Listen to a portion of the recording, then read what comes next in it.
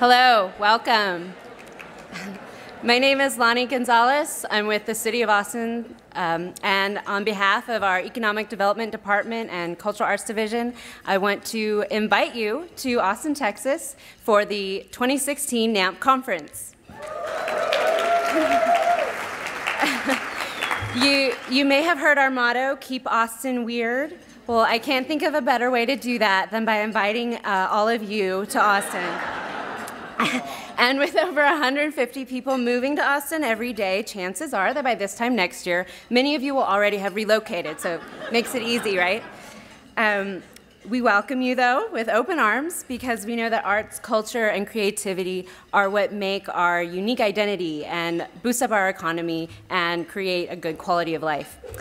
Uh, please enjoy this brief tour of our Austin art scene, and I can't wait to share it with y'all in person in 2016. Thanks.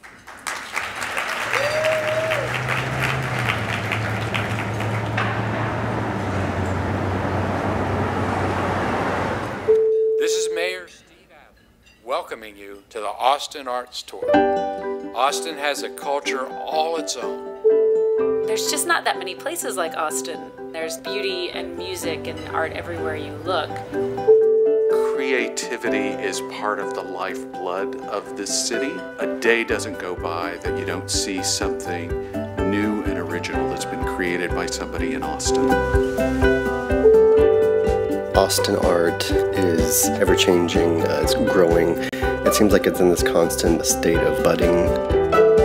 There's so many different artists and different voices, and they're all very diverse and very unique, and that's what makes this place really, really special. The idea of Austin being kind of this hidden gem, it's a nice surprise when people do come here and they find it. I think that that's why Austin is growing at such a fast pace because we have such an amazing creative class who's really open to making cool stuff.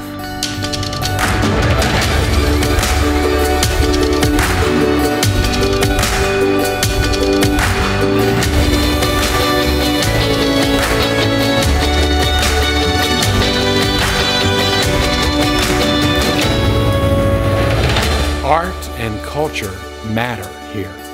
Thanks for taking our tour and come back again soon. We're always adding new stops.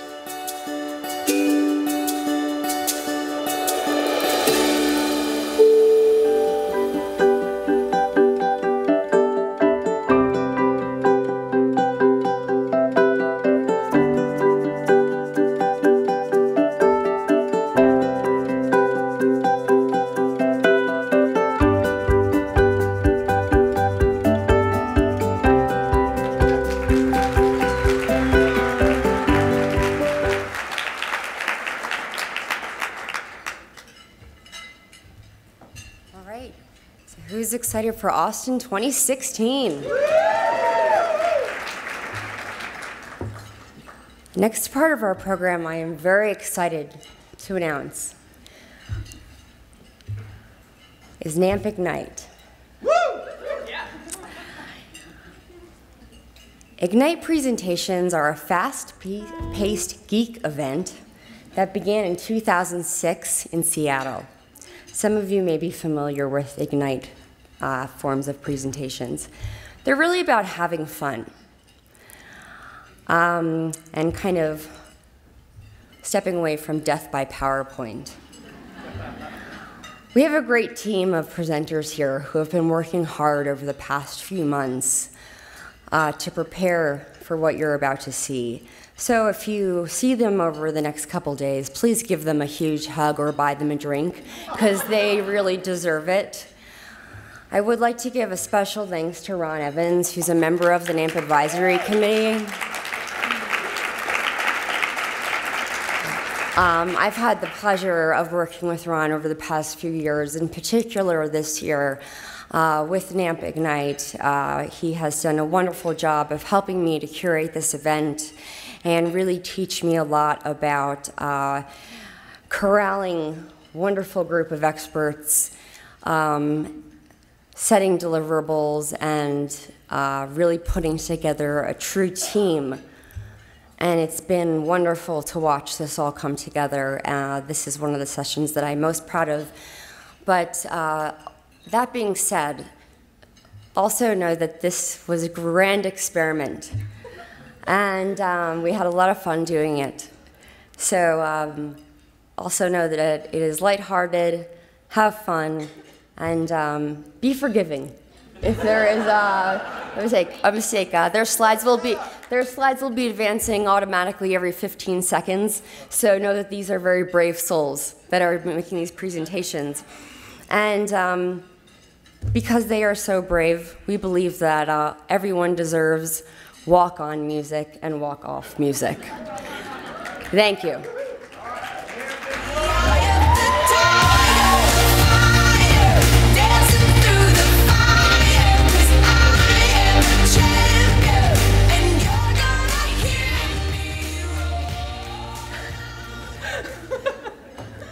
I'm not a performer. I don't know my cues.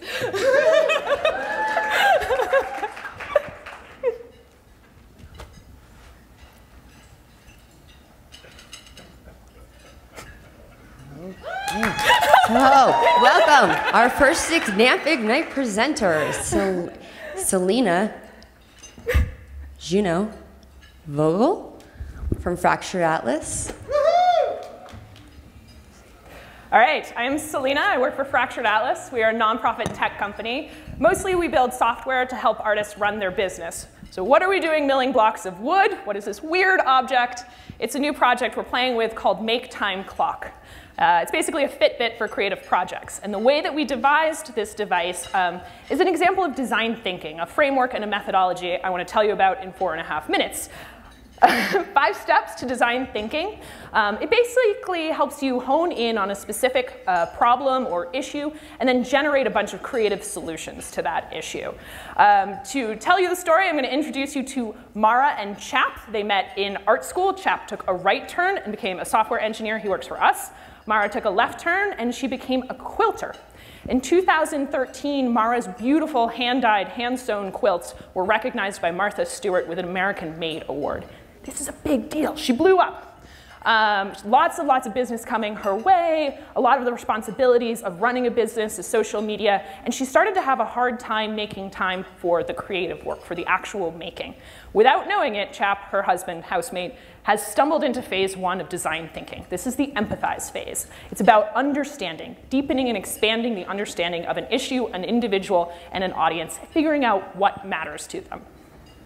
So he's talking to Mara, he's figuring out that she really needs to make time for the creative work. That's why she's in it. Um, she needs to figure out how much time she needs to spend creating, how to keep that time sacred, and not let it bleed into the social media and the other uh, junk of running things. So this is the define phase, second phase of design thinking. He's distilling his learning. He's telling a story. He's figuring out what her needs are, and he's honing in, he's bringing the whole problem into a specific challenge. From here, Chap's gonna naturally start generating different possible solutions to Mara's challenge. Um, what you see here are a bunch of sketches, a bunch of possible solutions. Maybe it's an app, maybe it's an egg timer. How do we measure her time creating? How do we keep that sacred and keep her aware of her creative rhythm? That is phase three of design thinking, ideation. It's not about finding the perfect idea right away, it's about coming up with a bunch of different ideas. Like Jad said this morning, it's the 15 leads, the 15 chases to get to the four good stories. It's a similar thing, as many possibilities as possible. He chooses one of these possibilities. This is the first prototype of Make Time Clock. He builds it cheap and fast in less than a day. It's a $20 microcontroller, a toggle switch LED screen, threw it in a cardboard box, hands it off to Mara to start playing with. This is the prototyping phase. It's about being cheap and fast. It's about making something to give your users as quickly as possible so you can get their feedback as quickly as possible before you waste any more time refining something that's not gonna work. Uh, he's learning from building and um, he makes that prototype. Mara's using it, she's testing it, measuring her creative time on her quilts, gives him feedback, he makes a new prototype, gives that to another artist friend. They give him feedback. These are some of the early beta testers of these prototypes in their different creative spaces, measuring their creative rhythm. This last phase of design thinking is the testing phase. It's all about finding a small group of friendly betas to play with your tools, to play with your prototypes, and to immediately take their feedback there, what worked, what didn't, and apply it to the prototyping process. So rather than being just a linear framework through those five steps of design thinking, those last two are a little flywheel. It's all about building something quick, putting it in the user's hands, getting the feedback, and then immediately applying it to the next prototype and running it again and again until you get something you really like. So this is a little reel of some of the prototypes that Chap built in the last year. You can see he's playing with the idea of like, is it how many lights are there? What is the shape of the object? Um, are we tracking the total amount of time? Or is it the daily rhythm that's more important? So eventually he settles on a model he likes, and we're taking it to the next phase of testing. Kickstarter, we launched on Monday, uh, is testing for us. We want to test and see if there's a market for a Fitbit for creative process. If we get backed, great. Maybe we'll do it. Maybe we'll make it a regular program line. If not, eh, on to the next thing. So design thinking, five steps. Obvious now how you apply it to a product, but it can be applied to um, non-physical things as well. How might we engage our audiences more in our programming? How can we leverage our board members a little more? It's about the questions, like Jad said this morning getting into those deep, deep questions. Really question who is the audience for this particular challenge? What do they need? Listen to them. Uh, how might we address that need? And how can we quickly show them the possible solutions so we can get their feedback about what works or what didn't? So that was five minutes, quick and dirty on design thinking. Um, you should learn more. Google it. There's great books and videos, a lot of depth of knowledge here. Um, learn about it, practice it, try it out, iterate on it, and if you'd like to help us iterate, please check out maketimeclock.com or find us on Kickstarter.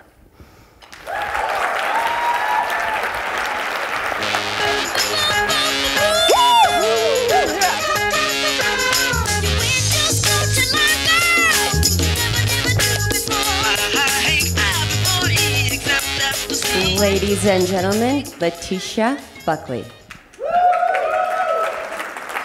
I don't dance. Good music, though.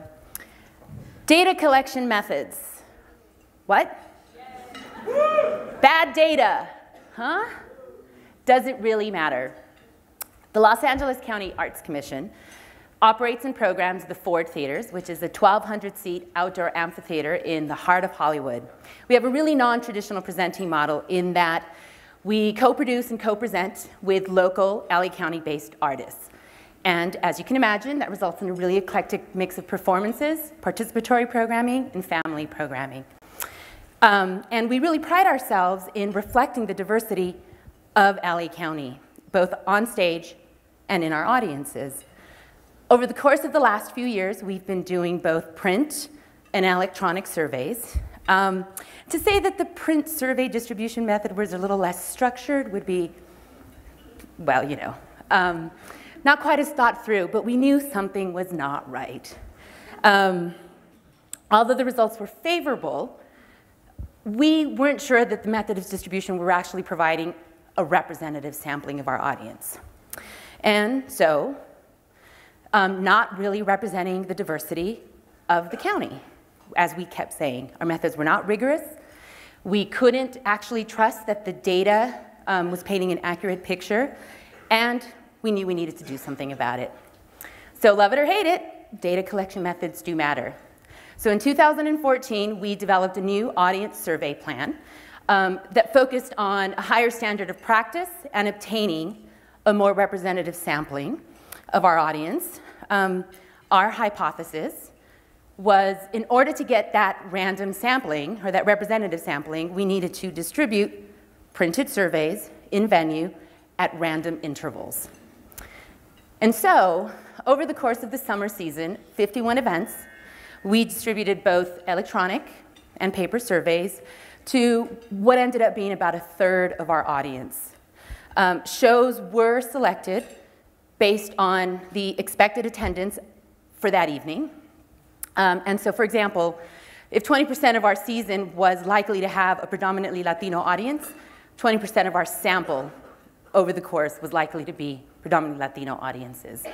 Uh, we distributed paper surveys at the entrance to the theater to the X person, and X was determined based on the total count of the shows for that evening, that particular performance. Uh, we distributed um, electronic surveys to people who had actually provided their email at point of purchase. And point of purchase for us includes phone and third-party ticket retailers or resellers. And that actually meant half, less than half of those folks, we had their emails. So we looked at both the results of the paper and online surveys, and paper only. Paper and online survey results, a predominantly white audience. but through the paper-only results, very different cultural makeup, predominantly Latino audience. So although we had fewer responses, that was okay for us because we had an improved sampling frame and distribution methods for our paper survey and a more representative sample of our audiences. Um, shows were chosen with purpose. We knew what we were doing, print, online, print random, online, non-random. And therefore, um, we believe that the results, the paper survey results are more representative of the Ford audience. And I just love this picture. Don't you feel it? You feel it? Right? Uh, and we also know for us that paper survey results continue to be the best way, paper survey distribution in the venue continue to be the best way to determine the makeup of the Ford audience. And, you know, I know online surveying is easier and maybe less expensive to administer and to analyze, and you don't have that like pesky data entry stuff at the end of it. Um, but that's okay. For us, at least, it's okay because we know that the best method to gather a random sampling to get the most representative, uh, representative of our audiences is through paper surveys. So, our conclusion, paper surveys are in, online surveys are out. because love it or hate it, data collection matter, data collection methods do matter. Thank you.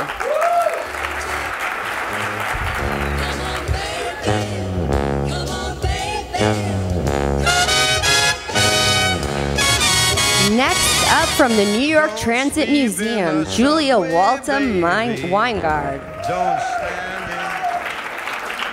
Riding the subway in New York City is a total experience.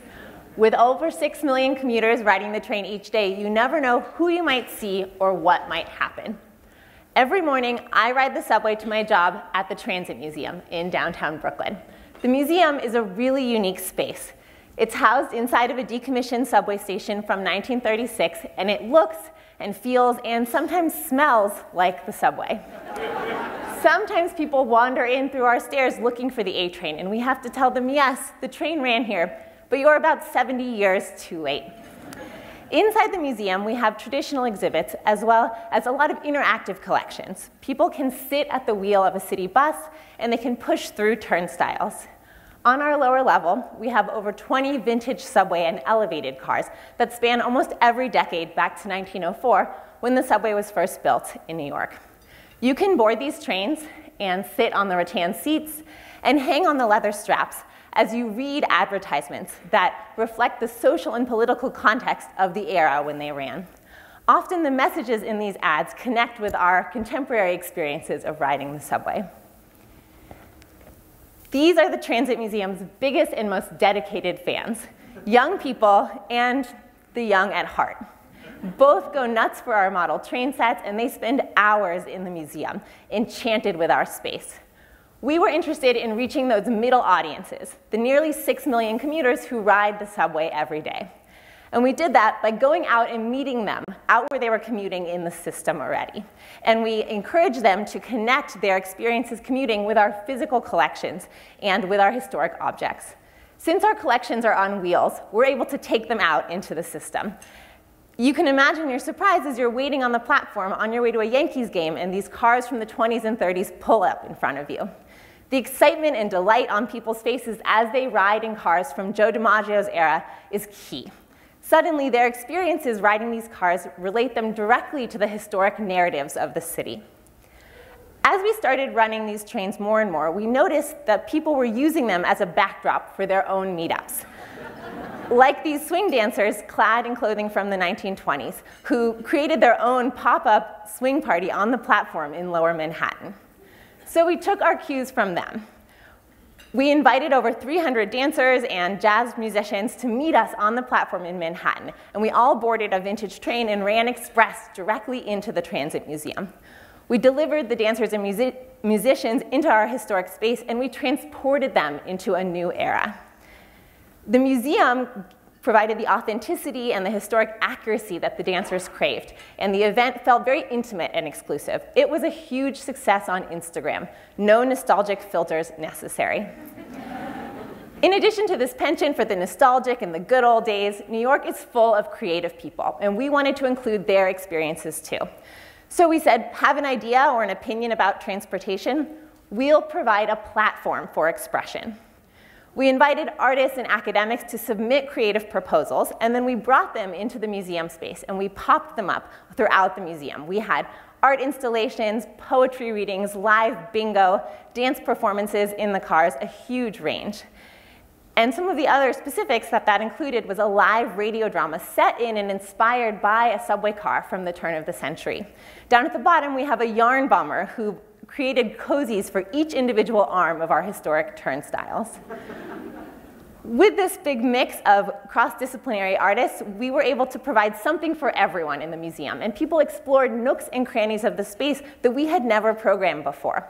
The artists brought their own followers, and we saw a huge diverse range of people from all different creative communities in the city, as well as across the city, across the country. And what we saw as the night wore on was that the lines became a little bit blurred between these pop-up installations and our historic permanent collections.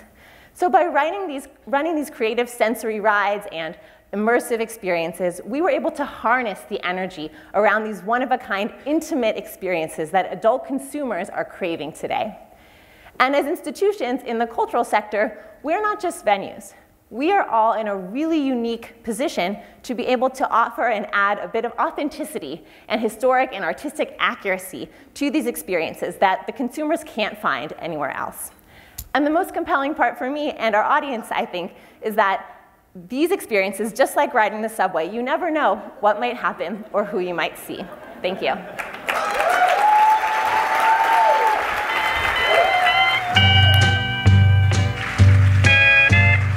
Next up from the city of brotherly love, John McInerney. All right. Hello, everybody. I'm incredibly nervous. This is my first Ignite presentation. I'm here to talk to you about loyalty and cheating. So I'm going to cheat and start with a blackout. But Ron said that we have to do really bold and clear graphics, so here's my first slide. Can everybody see this? All right. Actually, loyalty is not this complicated. This is actually um, trying to show the complexity of the Afghan war. It was actually oddly effective. I'm here, though, to talk about your audiences, and I have news for you. Your audiences are cheating on you. They're not hanging out like they used to. Um, how's that subscription campaign going? Um, I think, like a lot of groups out there, you're probably finding that some of your most loyal fans are not coming out as much. But there actually are coming out, they're just not coming out to your organization. Attendance is increasing across communities. The problem is that there's also an incredible amount of more things going on. So in a situation like that, how do we build loyalty when people are not loyalty to the specific institutions, they're, loyalty, they're loyal to the experience. So we need to come up with a different way to build loyalty across different communities. So I propose that we put together a, wait for it, arts turducken. A turducken is a chicken inside a duck inside a turkey. The whole is greater than the part, and that's what we need to work on together. And I think we can do that working collectively to build engagement. So every city has in their city a centralized arts or tourism group that markets the arts collectively. And I'm suggesting that if we work with them, we can build loyalty and get back to that same idea of the subscription model, but do it in a collective way. So here's my only complicated slide. The theory is that we would start with awareness, and then we would activate people through discounts, create great experiences, and then from a central location, we would give them points and create rewards, creating art zombies. Then these art zombies would go out and spread through word of mouth and social media their enthusiasm and addiction to all their friends and keep the cycle going, and we would be able to create this, this whole experience and this whole amount of loyalty across the community. So here's how we're going to do it in Philly, but it can be done in any city. We're going to start fun perks. We're going to get people to log into the central location, give us their information, and then we're going to start giving them points when they buy tickets to different institutions. So from that central website, you can see all the great events that are happening. And we're creating a new marketing channel based on rewards and loyalty. Then people, when they buy those tickets and they start to build those points, they can also earn points from social media. So we can now give them points when they post your hashtag on Instagram, Facebook, or Twitter. And what's great is you don't have to no longer pay Facebook to get exposure, but you can reward your fans to actually tell their friends. Then they come back to the website. They can see all the great prizes that you've donated to the centralized website. And when we see what they purchase or what they redeem, we get a better sense of what kind of experiences motivate them and then we can better understand how to create more experiences that are more relevant to the changing nature of audiences. So here's an example. This family saved up their points and got a meet and greet with the band Kiss. They were so excited as they got close to getting their points, they were sharing like mad. They were making sure that every ticket that they purchased, that they got points so they could get to this level. You know, there's a lot of marketing groups out there that will sell you information about consumers and what they do. What's great about this idea is we would build that knowledge from our own audiences and from our own loyalty program so we would understand real people, not segmentation. So here's a typical arts consumer. This is Walter. We don't know a lot about Walter, but we know that he loves music. We know that we've seen him at a couple different Irish festivals, and we know he likes to hang out with a lot of his friends from the kennel. Now Walter joins the loyalty program. Everyone realizes this guy's really into heavy metal music and into St. Patrick's Day, and, and that's what's driving his participation. So now we're able to create, create this great experience. Here's Walter with all his friends, and they're experiencing KISS. And uh, this is at the Wagner. They're having a great time. His friends have all signed up for the loyalty program. This is the first time they've ever came to that institution. So at the end of the day, Walter's exhausted from running around, creating excitement, spreading the word about all the amazing things that you're doing.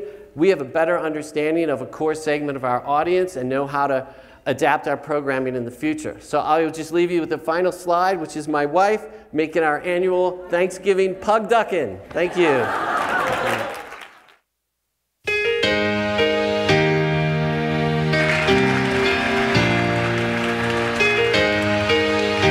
Across the pond in the United Kingdom, we have Cath Hume.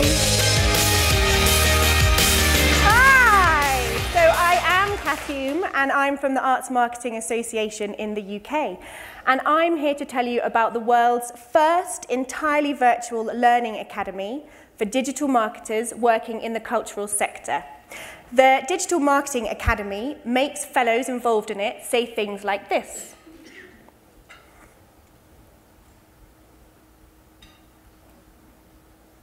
So, we are in the business of creating digital marketing superheroes, and we imbue these superheroes with the power of experimentation.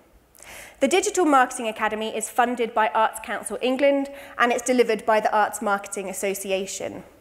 The Academy was set up to provide the fellows involved with it a space to experiment, to try working in an agile way, to embrace rapid iteration all things that they'd never tried before. And we need, knew that they would need a lot of support, so we set up a network for them. First of all, we made sure that each fellow would have a mentor. Now, our fellows come from organisations right across the UK, so we have people from theatres, we have people from galleries, from touring organisations, from disability arts organisations, all different kinds of places. And we knew that they would have similar challenges, uh, but also different challenges. So, as I said a moment ago, we made sure that they each had a mentor. And because we are entirely virtual, these mentors are joining us from around the world. So this is DK, he is our mentor from New Zealand. And we also have mentors from the US. So we have the wonderful Sarah Devine from Brooklyn Museum. We have Devon Smith from Measure and the fantastic Ron Evans, who is going to be speaking in a moment.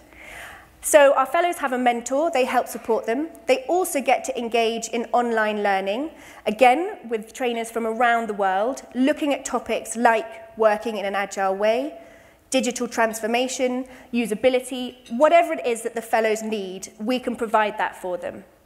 And the final piece of the support puzzle is that we have some action learning sets. So these take place online. They're facilitated by the wonderful Carol Jones, who I believe is watching right now from Wales. Um, and Carol gets the fellows together in small groups and they talk about their successes and their challenges. And there have been challenges. Sometimes these come from the fellows themselves, so they feel a lot of pressure when they're told to experiment. They feel like they have to do something massive that's going to have a huge impact on their organisation. But that's not the case. Often the best experiments are the ones that are integrated into their daily marketing practice. And sometimes the fellows have some challenges with their colleagues who are suspicious about this agile working. And feel like it's going to be all about throwing away all the amazing planning they've been doing. But that's not the case. It's about planning in a different way, about working in shorter timescales, being more flexible and responsive. But they've overcome these challenges, and I'm going to introduce you to some of our wonderful digital marketing superheroes. So the first one I'm going to introduce you to is Steve Woodward, superhero Steve. And Steve had never worked in this way before, but he really went for it with the Digital Marketing Academy. He wanted to build a website that would bring together schools and arts organisations in London, and he decided to put this out as a beta version, something he'd never done before. He was nervous about it, his organisation were nervous about it, but it provided him with such great feedback from the communities that he wanted to engage with that he's now been able to build something that is about to go live and that he knows is going to have the impact that he wants it to have. I'm going to introduce you to two other digital marketing superheroes, uh, Jen and Anna, who will appear in a second, and they're from an organization called FACT. And they wanted to look at how they could segment their audiences using gamification and play. So they developed one of those questionnaires, a bit like a quiz you get in a magazine where you find out if you're more Gwen Stefani or Miranda Lambert but they did it instead with what typeface are you? So they put together a questionnaire and they had enough questions in there that would give them really useful information about the people that responded. And they got their highest ever response rate, and people shared this questionnaire beyond their usual audiences. So, what next for the Digital Marketing Academy? We would love to do an international one. After all, there are no barriers, perhaps some time zone issues, but we can overcome those. So you might already be a digital marketing superhero. If you're not, and you'd like to find out more about our fellows and our mentors, they've written case studies, they've shared blogs, and you can find them here. I'm here until Monday, uh, so if you want to ask me any questions, please do. Other than that, I hope you have a really lovely day, and thank you for listening.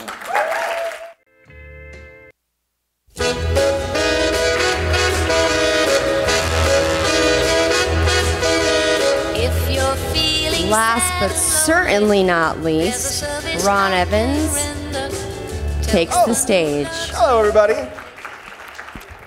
Now, picture the end of West Side Story. Tony's on the ground. I, I don't want to ruin it for you in case you don't know the story. it's pivotal moment, though, when somebody's cell phone goes off. Cell phones are evil, right? Okay? Yet, if I'm walking on the streets of London now, I can walk by a statue that I may have seen every day, and now I can scan it with my mobile device, and the statue will come alive, and I can hear its story. We're making something old new. So, cell phones are good, all right? Good, evil, this is a hot button topic for the arts, which is all the more reason why we need to take the time to understand how people want to use their mobile phones before, during, during, and even after arts and cultural events. Since uh, 2009, every three years, Group of Minds has studied the mobile preferences of arts patrons. Uh, we work together with, uh, this time around, five cities across the country. And we've just released it right now, I think, in the Twitter feed. It should be popping out there right about now, okay? So uh, we had our city partners send out an online survey. We received more than 1,000 responses. And the change that's happened just in the last three years, since we did the last update of 2012, it's been massive, massive, right? The biggest demographic that answered this survey was aged 57 to 68. Not traditionally uh, stereotypical users of tech, right? Yet they responded the most. In 2009, we asked them, Do you have a smartphone? Would you be interested in having one? And 50% said, Don't have one, don't want one. Look what's happened in just six years. And yet, if you are at a performance, you don't want to be this person on your phone. That's the least that's going to happen. It's a way to a quick death, let me tell you. Okay? People feel very, very strongly about this. Now, as a side note, in France, they have cell phone jammers. You just flip a switch, jams all the cellular frequencies around you. How many of you would like one of those on the train, huh? Okay, it can happen. Let's go over a few of the highlights. At the top of the list, parking and directions. Parking and directions. People want to know how to get there and where they can park. Now, you think about it, they're coming to the art space, they're stressed out. They don't know where to park, they don't know how to get there. How are they supposed to empathize with these characters in the play or be ready to receive what we're talking about? Okay, we need to keep their stress levels down. And this is something that we have at our fingertips. We just don't often share it. Another thing at the top of the list was please tell me the show information. What's the synopsis? What's the runtime? Is it age appropriate for children? What's the background information about the artist? Okay? We have this information around us. Also, a huge increase with people saying they now prefer to buy online. They don't want to call the box office. They're making their choices online. So, how that thing looks on a mobile device is important. New this year, we ask them if you had the opportunity, would you check in to the venue on your phone with an e ticket? 48% of the people said yes, absolutely. Okay? Probably driven by the check in at airports, right? Isn't it easier to have it on your phone at this point? Right? So, huge response. So, a couple of highlights logistics. Logistics is what it's all about. It's the unsexy stuff. It's the stuff that us, we as marketing people don't think about. It's what people are looking for okay? And we have that nearby. Try your own stuff out. Try to buy a ticket on your ticketing system. Try to go onto your website and look what it looks like on mobile. It's pretty easy to test this stuff out, and you can see what their experience is going to be like. Set some guidelines too. Often, either we tell people, no, you can't use your cell phones, or worse, we don't say anything at all. Let's give people some creative outlet for their mobile devices and tell them when they can and can't do it. And it's the Wild West right now, guys. You can experiment. This is an actor who is having a text talkback to people that just saw his performance, and he's answering questions after the show. Right? If we're going to experiment, now's the time. The full report's up on the website, Group of Minds slash mobile 2015. Uh, all of you right now that have a cell phone, could you pull it out for me right now and hold it up? Hold it up for me right now. There we go. I just wanted to see those little screens. Good. All right. Thank you. We don't have to fight this anymore. We can make this benefit us.